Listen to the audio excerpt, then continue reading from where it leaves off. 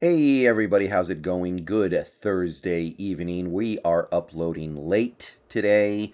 Usually don't upload videos this late. I generally let things roll over to the next morning and try to just queue up a bunch of topics, but this this was something that I wanted to spend a little bit of time discussing when I heard about it because this could be pretty big. So I don't want to just pack it in with the training camp updates. I don't want to just briefly mention it for like a minute in an unrelated video. Um, this this is something that I heard a little bit ago. I wasn't able to make a video on it immediately, but this is pretty significant and it's pretty damn interesting, I think, that this team is approaching things this way. So I've made a couple of videos about the Duane Brown situation. I've mentioned it in passing in a couple other videos.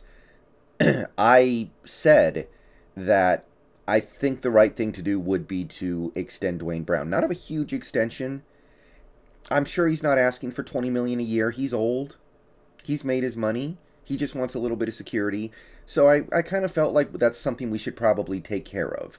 And we might have to bend over a little bit because I felt like in a way he had some leverage over us. But I was okay with that. However, it seems like the Seahawks don't agree. Um, per this tweet right here, which has been verified by a Bob Condotta, he wrote an article about it, which I'll highlight in a second here. The Seahawks have reportedly told Duane Brown that they will not extend him before the season starts. They will they want to wait and see how things play out this year before deciding how they proceed. And it makes a lot of sense why they would want to do that. I have said before that I really expected and at one point even wanted Duane Brown to retire this offseason because I thought he was just getting to the point where his knee was going to give out and I wanted him off the books. But he played so well and he showed so much interest in coming back that I kind of uh, changed changed uh, my tune on that. But in a perfect world, I would have wanted him to play out the last year of his deal and then we see what's up next year. But I also knew that a guy like him was probably not going to want to play on the last year of his deal, so thought we were going to have to extend him and he wanted to get extended clearly that's why he's doing this little hold in now but team's not going to do it uh, here's a Seattle Times article from a Bob Condotta that was uh, published uh, earlier today. Um, they are playing hardball with Duane Brown, and you can read this whole article if you want to. I'm not going to in this video, but Sources have said the team is not in active negotiations with Brown, and they have told Brown they want to keep him but want to get through the 2021 season before addressing his contract situation. now, the the um, kind of amusing thing about that is his contract situation will be non-existent after the 2021 season because his contract will cease to exist after 2021. So that's kind of exactly the thing he wants to avoid. So um, this this I could see this being a line in the sand that Duane Brown isn't willing to cross in order to meet the team halfway. I could see him going, I, I cannot accept this. It, it's it's kind of like the opposite of the Jamal Adams thing, where we know they're negotiating over very, very little in the Jamal Adams contract talks right now.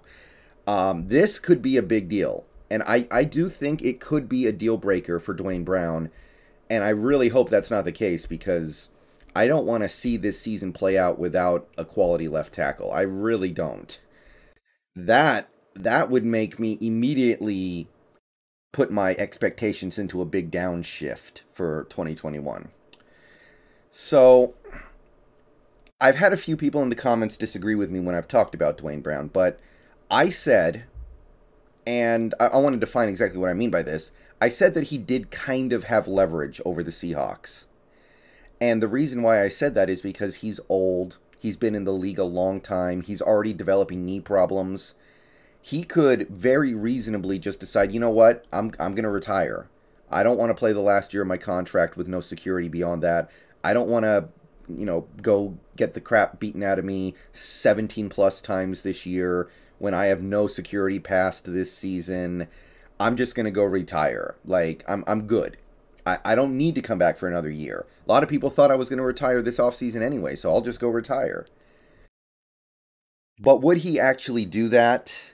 Let, let's uh, talk about that and see if that's actually true. Because there are some people who have pointed out to me that Duane Brown is so old that he wouldn't get any monster trade offers or offers in free agency, which is true. I don't think that if he went to another team, that team would be excited to give him a long term extension.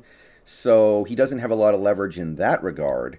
I was just saying that a guy like a Duane Brown could retire and live with it. Jamal Adams cannot retire because he'd be throwing away the one opportunity he's going to get in his life to become super rich. But would Duane Brown actually walk away from the last year of a lucrative contract? Let's talk about it.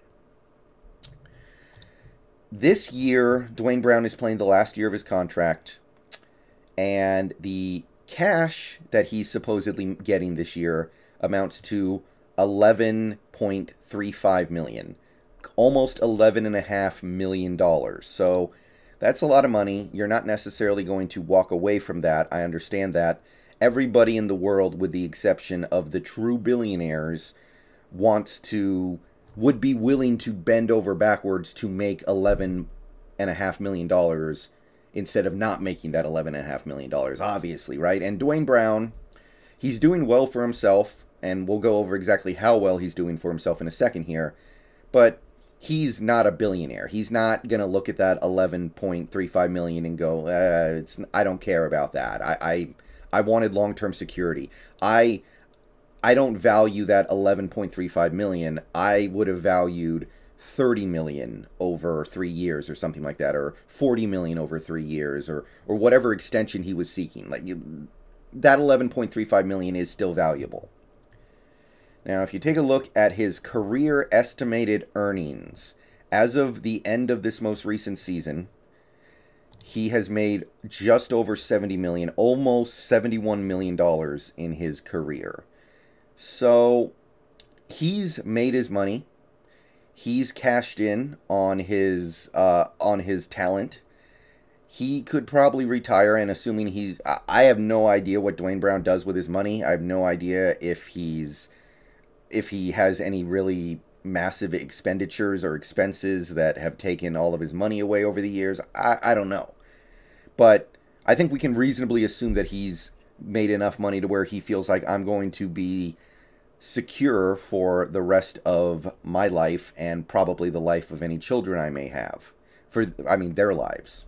So he could walk away. And that's what scares me as we play this game. I, I don't have a big problem with us playing this game because it makes a lot of sense, right? Duane Brown's about to turn 36. He's already got knee problems. I, did tell you guys that some left tackles do last a long time, but some don't. Walter Jones went from elite to garbage in one off season. It was like a light switch. And it could happen to Duane Brown. I, I've never doubted that. I, I did say I think the extension would be worth the risk just to keep him happy. But it seems like the team is going to go the other way. And if you look at the numbers, it, it's tough to believe that Duane Brown would just walk away from 11.35 million just because he doesn't get that long-term security, right? So it's it's an interesting bet that we're making here. It's certainly a risk it's scary to think about him suddenly deciding, you know what, if you guys don't want to take care of me, I'm out of here. But if you look at the numbers, I think it's reasonable to say that that 11.35 is going to mean enough to him to motivate him to come back anyway. So that's that's those are the stakes. Does Duane Brown care enough about that 11.35 million to come back for one more season with no long-term security knowing that if his knee acts up, that's probably it for him and he's not going to make any more money. That's what we're going to find out. And apparently, the Seahawks are willing to find out the hard way. Um, I, I do think that I may have over exaggerated Duane Brown's leverage when I was talking about it a little earlier. A couple people in the comments did point out that he has no trade value and no team in the NFL would be willing to extend him with very, very rare exceptions because of his age and knee. So I think playing it this way is fine. But this is a dangerous game we are playing in Seattle, guys, because if he does decide, you know what, I'm walking away. Or if he decides he's just going to miss a few games to try to, you know, play this game of chicken and see what happens, then I don't want to see what this offense looks like without Duane Brown. Hopefully, we don't have to.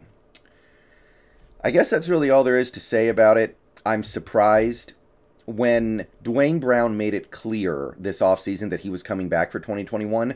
I kind of expected an extension, and I kind of felt like he had deserved it. And I felt like this team was probably going to bite on it. But now that we're here, and now that we know the team is not going to be pushed around quite so easily, and they are going to, uh, and and they're going to try to, uh, they're going to try to keep their options as open as possible going forward. It's pretty understandable. So let me know what you guys think down below. I'm I, I can't say I'm upset about it because I get it. I totally get it. And from a business perspective, it makes a lot of sense, but it is scary to think about what might happen without Duane Brown. As much as Jamal Adams is a much better player than Duane Brown overall, and um, possibly more impactful, it would be much easier to deal with not having Jamal Adams because at least we have good safeties behind him. We have nothing behind Duane Brown. Nothing. Don't bring me Stone Forsythe, by the way. Um, how about you stay? How about you uh, go through a couple of NFL seasons learning stuff before I believe in you to protect the blind side of my franchise quarterback? All right. See y'all later. Go Hawks.